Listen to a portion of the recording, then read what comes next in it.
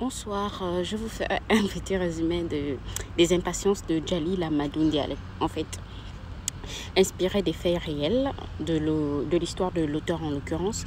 En fait, il aborde la question des mariages forcés, la polygamie, les violences conjugales et le viol. L'histoire se passe au, nord du Cameroun, au sein des, des familles peules musulmanes. Bien sûr, c'est un sujet sociétal qui touche euh, tout, le monde entier. Hein. Ce n'est pas... Euh, ce n'est pas spécifique euh, au peuple camerounais. En gros, ici, nous sommes dans une société encore qui, nous conditionne à penser qu'une femme accomplit quand elle est uniquement mariée et quand elle a des enfants. En fait, tu peux avoir toutes les compétences du monde et toutes les qualités du monde. Tant que tu n'es pas mariée et que tu as des enfants, tu n'es pas une vraie femme ou tu n'es pas une femme accomplie.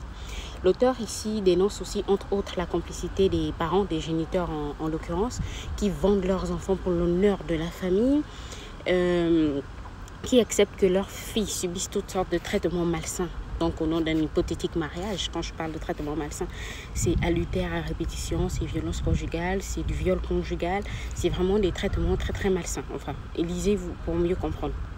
En fait, une vraie épouse, pour eux, c'est une épouse qui saura être patiente, une épouse qui saura pardonner tous les déboires de, de son mari, en fait. Et la réussite du mariage ici repose uniquement sur la femme. Enfin, pour le cas de la polygamie spécifiquement, l'auteur parle de l'hypocrisie qu'il y a autour de ça. Voilà, je ne dis pas que la monogamie c'est bien, hein. je ne défends pas un régime, mais c'est vraiment un résumé de, l'auteur.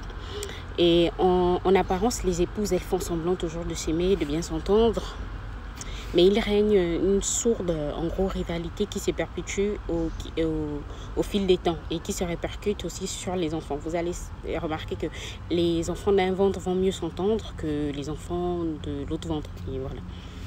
Donc, on ne se contente pas de détester les coépouses, on déteste aussi tout ce qui vient d'elles, donc leur famille, euh, leurs enfants en général.